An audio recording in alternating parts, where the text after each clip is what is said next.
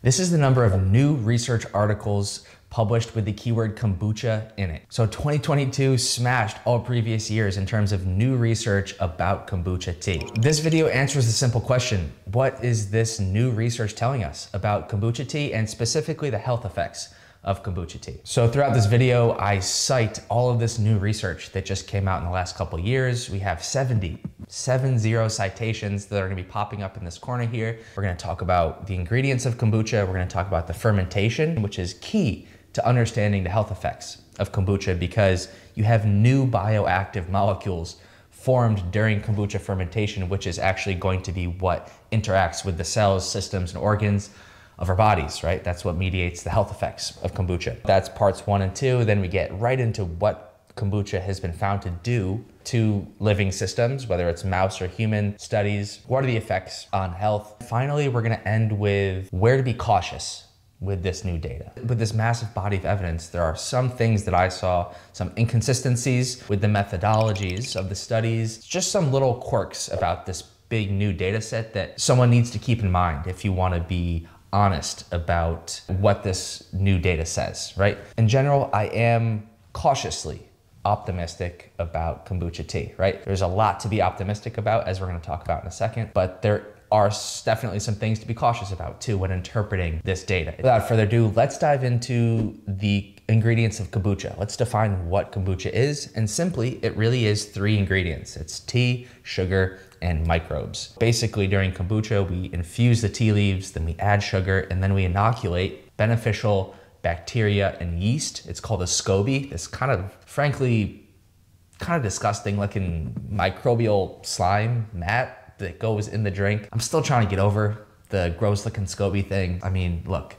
childbirth is not pretty, right? But they call it the miracle of life. I don't know, try to get over the gross microbial slime mat thing. Let's look at that first ingredient, which is tea. Regular viewers of this channel will know that tea can be a confusing word, but at the very primary definition, you have true Camellia sinensis teas, that is from the tea plant, and then you have all other teas, which are called herbal teas, which come from all the other non-tea plant plants. You technically, in theory, could make kombucha with either one, but the true original kombucha that's been consumed for thousands of years now, and the one with the most research and what seems to have the most health benefits is kombucha from real tea, right? So that could be green tea, black tea, oolong tea, any of the six major tea types, but it needs to come from real tea. And some of this new research is showing the difference between true tea kombucha and herbal tea kombucha. And basically what they're finding is just that there's a ton of antioxidants that are unique to tea leaves that when you make kombucha from real tea leaves, these antioxidants are then transferred over, carried over into the kombucha tea. When you use herbal tea, for kombucha, you just don't have the same levels of antioxidants. It's like the same things that make normal tea leaves and normal tea, true tea, healthy to consume, they carry over into the kombucha. One of the recent studies actually, had this really cool title. It was talking to the fact that kombucha is this double power of tea leaf antioxidants and the microbes that you inoculate with the tea leaves. There were some studies that compared which tea type is best for kombucha. You see clear differences, right? One study compared green versus black. You had another study comparing green tea, white tea, pu'er tea, and black tea kombuchas. These studies all found significant differences, and the kombuchas all had their own unique properties about them, but it's unclear which provided the most health benefits. And for people who know about tea, you know there's so much variability in the world of tea. So just differentiating based on green tea or black tea doesn't really help a lot because you can have really high grade green teas or low grade green teas. Same with every major tea type. For now, we know that real tea kombucha is better than herbal tea kombucha, but we don't know much more than that in terms of what tea is going to provide the most health benefits for kombucha. Now, the next ingredient is sugar, right? And so sugar, as you can imagine, just like when you ferment alcohol with sugar, the, the sugar type that you use makes a huge difference on the bioactive properties and the flavor and the, the chemical composition of the final kombucha brew, right? So this one really cool study from 2022 used three different tea types. It was green, black, and white, and it used two sugar types, coconut sugar, and cane sugar. So six total types of kombucha. They found some really interesting things about how sugar type affected the kombucha tea. In terms of the antimicrobial properties, right? They tested the kombucha's ability to fight pathogens of the human gut. Kombucha made from cane sugar was able to fight specific pathogens really well, much better than coconut sugar. And the opposite was also true. There were other pathogens, bacterial and fungal pathogens of the gut that were fought by kombucha made from coconut sugar and not cane sugar. So it wasn't obvious which was the more antimicrobial kombucha. Both of them had distinct properties fighting their own subsets of pathogens. On the flip side of that, you kind of have the beneficial microbes from the SCOBY that were supported by different sugar types, right? So the sugar is not only affecting the antimicrobial properties, but it's affecting the probiotic properties of the kombucha by supporting specific beneficial microbial communities because the, the microbes are consuming the sugar during fermentation and some of these microbes are picky eaters, right? So some microbes that are beneficial will only eat the cane sugar, some will only eat the coconut sugar. So you found in the final kombucha teas, regardless of tea type, you found that the sugar type significantly changed which beneficial communities were present in the final kombucha tea. Again, it wasn't clear which one was quote unquote better, they were just different. You can see sugar type has a big role in affecting the bioactivity of the kombucha tea. So the third major, major ingredient is the SCOBY, right? What microbes are you inoculating into the kombucha tea? So the SCOBY, that includes yeast and bacteria, two groups of microbes. You can see here, these are the common yeasts found in kombucha tea. They are great at fermenting and they have high stress tolerance. So as the pH declines with kombucha fermentation, these microbes, these fungi are allowed to continue doing their work, continue fermenting. So they're kind of like powerhouses of kombucha fermentation. And then kind of downstream, down the assembly line from these kombucha yeasts, you have kombucha bacteria. And so they take the products of fermentation from the yeast and they further convert them and change them into new beneficial bioactive compounds. For example, the yeast are producing ethanol, right? That's, that's the active ingredient in booze. It gets you drunk. We don't really want too much of that in the kombucha tea. Not great for health, not great for the liver specifically. Uh, acetic acid bacteria take that ethanol that the yeast produce and they convert it into acetic acid, which is a health promoting organic acid, right? So they're taking a not so great thing, turning it into a great thing. And you can see now there's molecules from the sugar and the tea that are being passed off between the microbes and then converted into a really health promoting profile of bioactive ingredients. So aside from acetic acid bacteria, there's lactic acid bacteria. That's the second big group of bacteria in the SCOBY. These are really antioxidative, anti-inflammatory, but interestingly, they can help promote mood, actually. They're calming and anti-anxiety microbial communities, right? They're, they interact with us through something called the gut brain axis, where if you have certain microbes in your gut, it promotes calmness and reduces stress levels, which is crazy, right? The gut brain axis is this massive new frontier that has everyone's jaws on the floor. Lactic acid bacteria in the SCOBY are also producing bacteriocins, which is an antibacterial, antimicrobial compound. It's how microbes fight other microbes.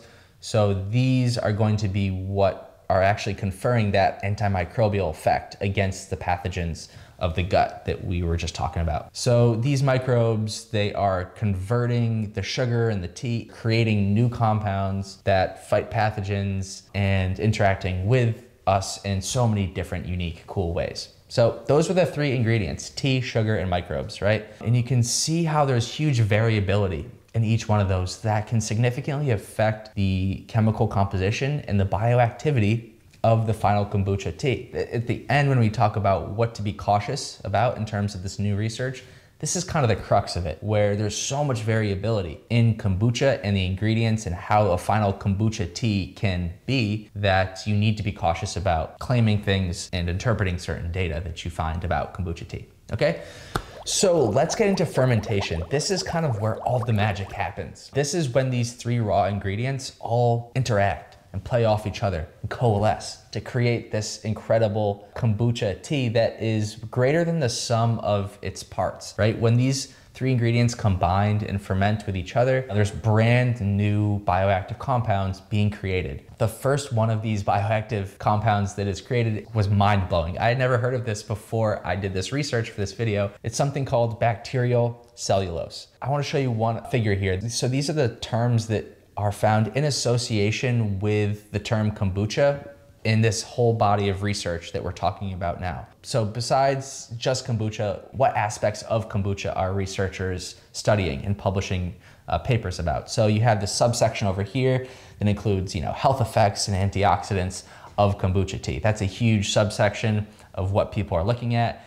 You have another subsection up here, which is the probiotics the gut health promoting aspect, which is kind of related to the health, but a little bit different. And then down here, this third major section of things related to kombucha that people are studying is all about bacterial cellulose, uh, which is crazy because it's basically just as big as the whole world of health promoting effects of kombucha itself, right?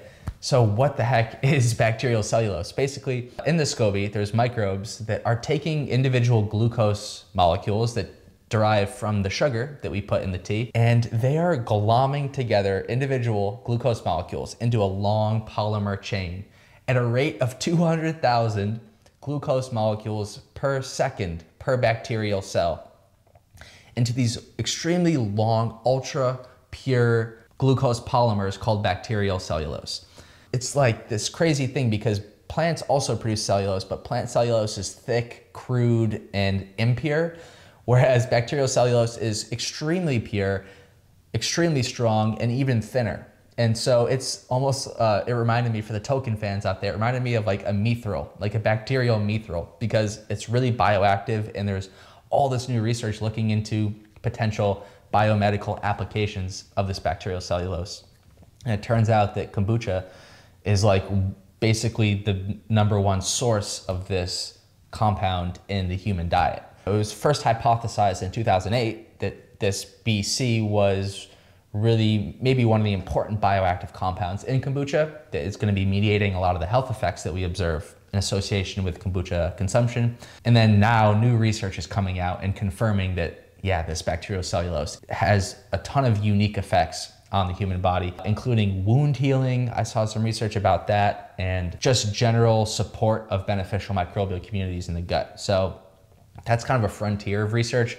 Definitely something to keep an eye out for. Okay, so besides BC, we have a ton of organic acids being produced. And if you've ever had kombucha before, you will notice that um, kind of twangy, that tangy kind of tangy twangy tang that it's got going on. That is organic acids. That is acetic acid and glucuronic acid. Those are the big organic acids being produced during kombucha fermentation, especially acetic acid. The levels of acetic acid during kombucha fermentation rise 450 fold. They just skyrocket because you have all these acetic acid bacteria, they're consuming the sugar, and their populations just skyrocket during kombucha fermentation. And this acetic acid has a ton of health benefits, it has a lot of, a lot of different bioactive properties about it. It can combat a lot of the bacterial pathogens that we were just talking about and do some other cool things too. The other organic acid is called glucuronic acid. This mediates the detoxifying properties of kombucha tea. So basically through a process called glucuronidation, this glucuronic acid gets tagged onto toxins in the liver. And then once it attaches to the toxins, it can kindly escort those toxins out of the body, right? So it's the main, it's one of the main pathways of detoxification and kombucha tea is loaded in glucuronic acid. In fact, if you look at glucuronic acid on Wikipedia, you got kombucha tea right there in the basic description as one of the main sources of this uh, detoxifying compound in the human diet. The next big ingredient formed during fermentation are these phenolic compounds, right? They're fragments and splinters of the original tea leaf polyphenol compounds. So in tea leaves, you have these larger polyphenols like EGCG or theaflavins, depending on which tea type you use. And during fermentation, they're getting broken down and splintered into many different, smaller, unique phenolic compounds. So in normal unfermented tea, you might have a few dozen polyphenol types. And in kombucha, you they measured recently over 100 different types of these smaller, unique phenolics. And these have antioxidant properties, which we know are great for health. Next, during kombucha fermentation, you have vitamins and minerals being formed from scratch by the microbes, which is fascinating. So one of the recent studies, it was that one that used six different kombuchas, three tea types and two sugar types. They examined the levels of available magnesium, calcium, and potassium at days zero, seven, and 14 of fermentation. And they found for all the tea types, all the sugar types, that these three critical essential minerals increased significantly from day zero to seven to 14. Also, vitamin C and different B vitamins are increasing significantly, right? These, these microbes are actually creating these vitamins from scratch. During kombucha fermentation, they're feeding off the sugar and they create all these things that we need we don't I don't even really need to elaborate on the health benefits of vitamins and minerals. That is just the very most basic thing that you should have in your diet. Now, let's pivot into directly what kombucha was found to do to health. What exactly have they found to happen to health in a living system, whether it's humans or mice or other animals, when they consume kombucha, right? And rather than talking about a million different organs and health systems in the body, I want to focus on one aspect of health that I find the most interesting and also had the most data supporting it in terms of kombucha tea research. And that was the gut, right? How does kombucha tea affect gut health and specifically the gut microbiome? So, in order for something to help the gut microbiome, it needs to do two things. It needs to support beneficial communities and it needs to suppress harmful communities, right? So how is kombucha tea faring in those two tasks? Let's look at suppressing harmful communities, right? We already talked about, mm, it's delicious. I'm drinking uh, raw pu'er, by the way. And this is white tea. I'm double fisting today for some reason. Well, I know which reason, because I just like drinking tea, so that's the reason. We already mentioned in terms of suppressing harmful communities, there are several antimicrobial, antipathogenic compounds in kombucha tea. We have the bacteriocins that we mentioned that were produced by lactic acid bacteria. We have the phenolic compounds, which are the residual tea leaf polyphenols that are antibacterial. We have acetic acid. We have vitamins and minerals, which are indirect suppressors of pathogens because they are cofactors or helper molecules for the immune system to function properly. And then you also have the beneficial communities that you're consuming that take residence in the gut and then they kind of compete with the bad guys for resources. So they're inhibiting, suppressing bad bacteria through competition with them.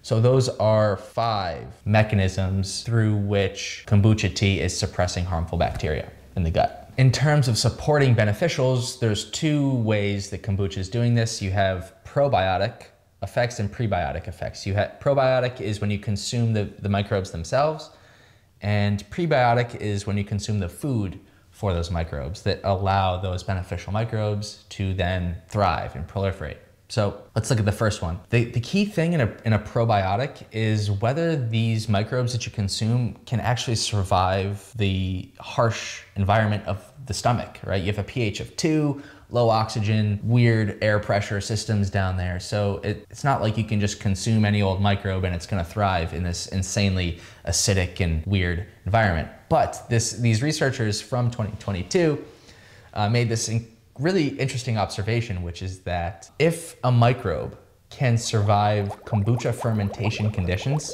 then it can likely survive in the gut, right? Because kombucha fermentation is also super low pH, it has all these weird, really harsh environmental conditions about it that actually almost mimics some of those harsh environmental conditions of the gut. The kombucha fermentation process, it's like buds for the microbial Navy SEALs of the gut. Uh, there was one study from 2022 that was able to track the series of events that occurred as a result of probiotics from kombucha taking residence up in the gut. And it basically proceeded in this order. You have the beneficial communities, they take residence, they increase.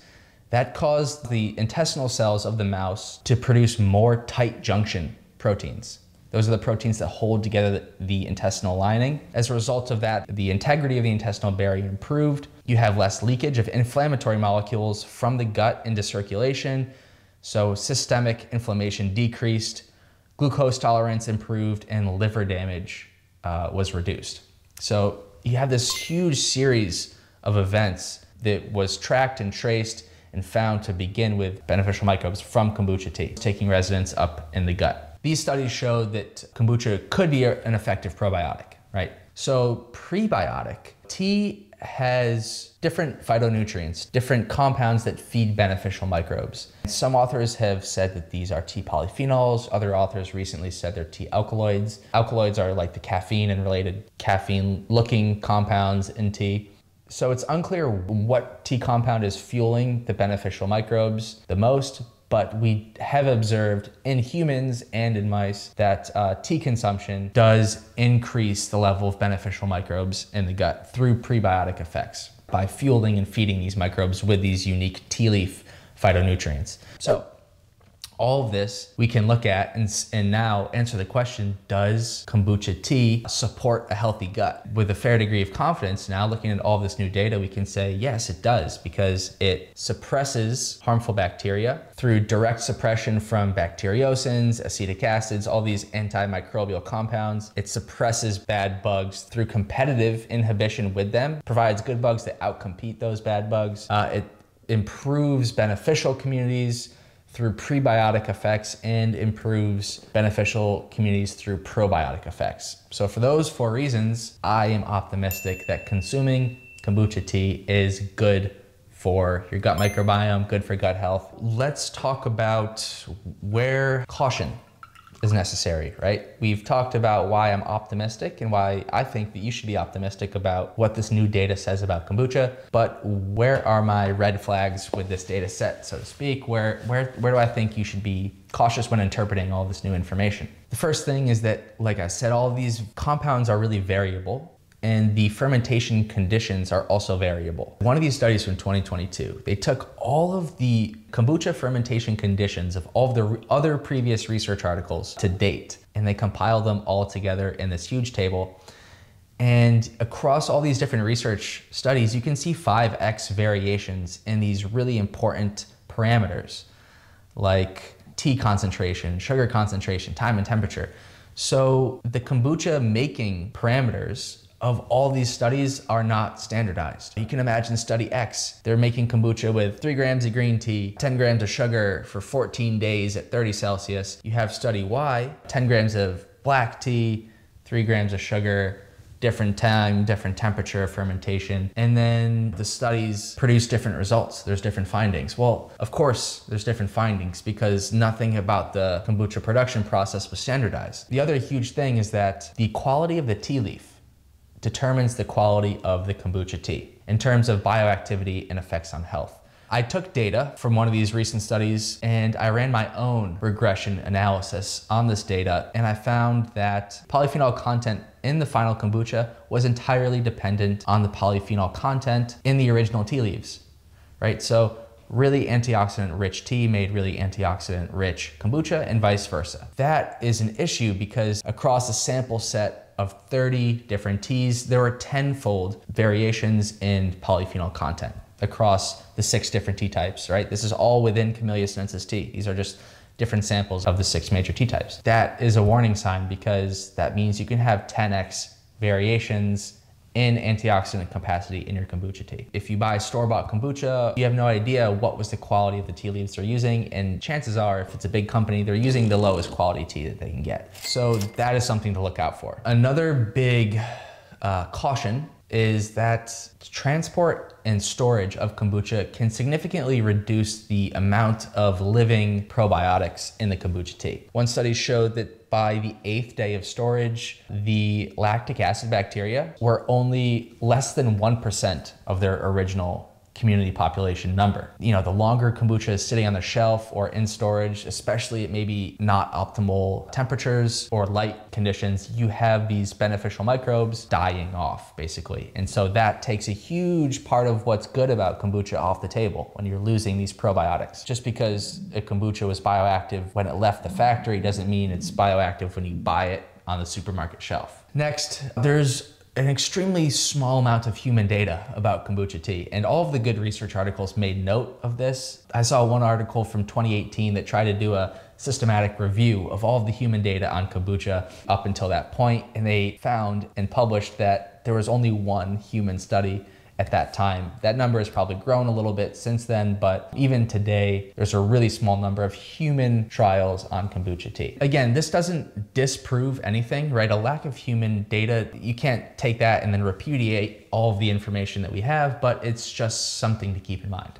I had looked at all these problems with storage, transport, uh, potentially low grade tea leaves, making low grade kombucha. And I thought that a good way around all of that would be to brew your own kombucha at home. There's tons of really cool kombucha brewing guides actually here on YouTube. I'll include some references and resources in the description. But if you brew your own kombucha, you can choose high grade tea leaves that are really antioxidant rich. You can experiment with different sugar types. You can get a good organic SCOBY, and then you can not have transport it over long periods of time and space, and then you can really preserve all those probiotics. But before you start brewing your own kombucha, you're gonna want to know which tea to use. And there is a world, a world of tea types at your disposal to choose from to start brewing your own kombucha. Luckily for you, I have a guide to the universe of the six tea types and the subtypes of those types. It is chapter one of my recent masterclass on tea that's eight chapters long. I highly recommend clicking on this link right here, checking out that video, exploring, diving into all these different tea types and subtypes, investigating for yourself which one might make the best kombucha. Smash that like button, smash that subscribe button, and I will see you in the next video.